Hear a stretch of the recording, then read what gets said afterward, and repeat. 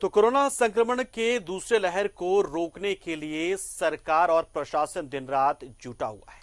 बावजूद इसके, कई लोग सड़कों पर बेवजह निकल रहे हैं। गिरिडीह में पुलिस ने सख्त दिखाने, दिखाते हुए बेवजह निकलने वालों की पिटाई की है। इसके लिए पुलिस अधिकारी ने बताया कि स्वास्थ्य सप्ताह के नए गाइडलाइंस का सख्ती से पालन कराया जा रहा है।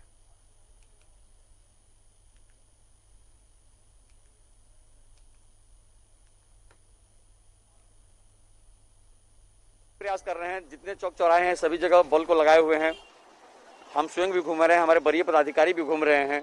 लोगों से अपील भी किया जा रहा है, कड़ाई भी की जा रही है कि भाई अपने अपने घरों में आप लोग रहें। आपके चैनल के माध्यम से हम यही अपील करेंगे कि भाई लोग अपने अपने घरों में रहें छोटे छोटे काम के लिए घरों से बाहर नहीं निकलें। देखा जा रहा है कि छोटे छोटे काम के लिए लोग घर से बाहर निकल जा रहे हैं। तो भाई आपके माध्यम से हम यही अपील करेंगे लोगों से कि घरों में रहें, अपने को बचा के रखें, लोगों को बचा दुमका के